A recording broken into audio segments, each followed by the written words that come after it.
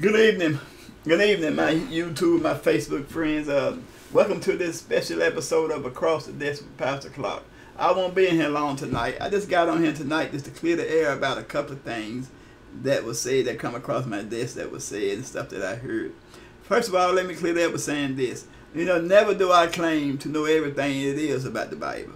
But one thing I do claim, I know that what I know. You know, I've, I've been in this thing about 35 years now, travel all over this country preaching and teaching the Word of God. The reason why I retired from pastoring because at 25 years of age, I had to learn how to talk over again, and now my speech is getting terrible. I, got, I think you guys can tell it when I do certain podcasts. Certain words I can't even I can't even pronounce. My tongue won't even let me do it. And so when I when I get excited, they get the way I, it sounds like I'd be upset, but I just be trying to frustrate it because I'm trying to get my words out, and I can't get my words to say what what I wanted to say. But anyway, I'm not on here tonight offering no apologies for anything I've said when it comes to tithe. I never told anyone not to pay a tithe. I just was trying to show what the Bible says about tithing. Yes, tithing is in the Bible, but tithing is not of this dispensation. That's my whole point. That's what I've been trying to do, trying to prove. Jesus died to free us from the law. And when we pay tithes, when we tithe, when we when we when we when I mean your pastor teach you tithing, he's putting you back under the law. And Jesus gave his life to set us free from the law. And so when you agree to that, you're saying, Jesus, your death is not important to me. Your death don't mean anything. I, I, I wish you'd have left me under the law. You know, the Bible says whoever the Son set free is free indeed. You are not in freedom if, if, if you've been bound to tithing. You're bound to the law. And see, the danger in trying to keep the law is if you're going to observe the law of tithing, you got to observe the entire law. Meaning you got to watch you got to watch certain food you eat. You got to you got to watch certain material clothes you wear on your back. You got to watch certain certain things that we do. We're not free to do what what, what we want what we, what, what we want to do, like we are under this new covenant, under this new dispensation. And and see, I was trying to show the difference in the required giving under this new covenant, this new dispensation that we're under now, than it was when the law. Probably, not probably, more than likely, up on this new dispensation, you probably you probably would be given more than a tenth. Because it, it, it'd be it'd be like God's putting on your heart what you should give. And that's why the church y'all move move more like entertainment to get you all hyper in, in, in, your flush, then they ask for your money. Put on a good show for you. But back back back back to business as, as, as hand. Uh, uh, um, up under this new this the Bible say we shouldn't give grudgingly or out of necessity, but God love a cheerful giver. That's uh, Second Corinthians, I think nine, six, and seven. Read it for yourself. That's the new covenant given what Jesus left for us to go by.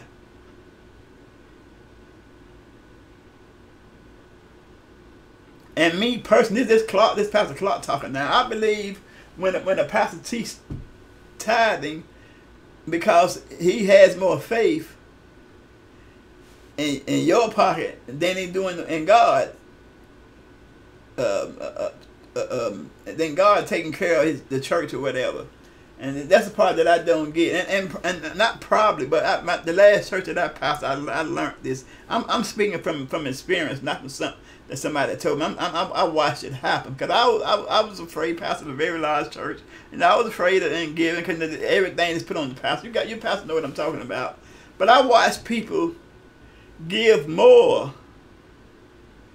when they learn this new covenant. Give when God touched their heart to give. Some folks will give you the whole check to the church, not not the tenth. They give you every dime when God tell them to. That, that, that's how God has prosper them during during that month. They'll come to I just want to give my whole my whole my whole salary to the church. And, I, I, and time comes that Pastor, I just want to give you this. My, this is my check for this week. I, I, just want to bless you with the man of God. You know, you've been faithful. You know, you had you had to run us down about money. It's I just want to, I just want to see the fit to give this to you. This for you, not for the church. And I've seen it happen. I've been a part of two mortgages getting burned on church without preaching tithing.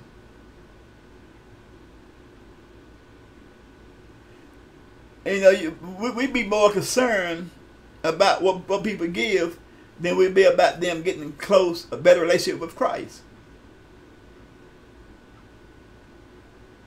And that's why we see a lot of pastors coming up with gimmicks. They, they, they, they, they, they from one extreme to the next extreme trying to make their finances work, and it never will work until you do it according to the Bible. Now, if you're running a business, it might work. But if you if, if you're running this organism that we in with the church, it won't work. You have to do it the Bible way.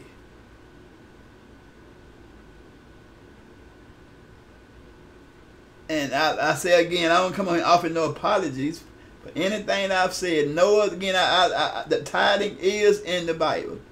But what I say, it's not of this dispensation. You ain't required to pay a tithe. Up under this dispensation, you're going to be blessed whether you pay a tithe or not. Under the old dispensation, what they're teaching in the church, if you don't pay a tithe, you're going to be cursed with a curse. That's Bible. So I got on tonight and say, you guys read your Bible, study your Word of God. Not just read it, study it, meditate on it. Ask God to op- uh, open up your eyes. Ask God to open up your, your, your uh, understanding, where you may understand what you're reading, and then you then you can hold these pastors accountable for what they're teaching teaching teaching y'all today. Like again, I, I don't get on here and claim and know everything about the Word of God. I got I, I learn every day. I, every day I, I pick up some word it's brand new to me. But I know that God has really burdened me with this. Because I remember early on in church, I saw how they would treat the people that paid tithes and the people that didn't. They would treat them different. And, and, and it kind of bothered me. You know, I saw that in the street. To me, that's con. That's game. I saw that then, but, but but when I when I came to church, I was trying to change my life. I wanted to see honesty, and there's a lot of dishonesty going on in God's house today. So again, I offer no apology for anything I've said. I just wanted to get on here and clear the air to tell you guys, study your word for yourself. Read it for yourself. And I guarantee you, I promise you, you'll see where what I'm saying is true. Quit and take them crooks' word for it. Quit taking their word for it. Quit taking your pastor's word and get in that book and learn for yourself. You'll be able to be this cheerful giver that God speaks of. That's all I feel like I want to get on here. I want to get on here and clear the air tonight. And I'm doing this out of love. And, I, and again, before I leave here, some of you pastors, well, all of you pastors listen to me tonight, please repent to God for teaching that doctrine. I won't call it a false doctrine because it is in the Bible. But it's not the doctrine for today. Because you cannot live under grace and leave grace and go into law just when it comes to your finances. Oh, they got a lot of scriptures they can turn and twist on you and turn on you and cross reference and, and make it make sense to maybe some of y'all. But it won't make sense to me. Because I know better. Not telling anyone not to pay attention. I'm telling you, I'm trying to teach you how to give or you find a way you'll be blessed. Whether you're able to give or not.